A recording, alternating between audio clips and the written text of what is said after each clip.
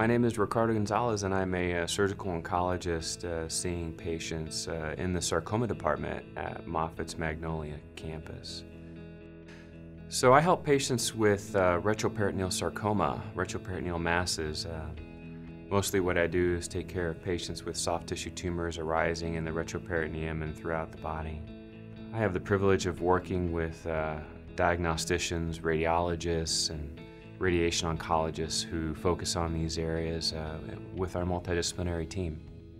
We do uh, novel translational research that is uh, upcoming on immunotherapy and tumor infiltrating lymphocytes uh, with, in patients with sarcoma. Every week, our tumor board meets and discusses only sarcoma patients, and our goal and intent is to try to help devise the most thoughtful, novel, and, and best treatment plan possible for our patients and uh, in partnership with our referral base.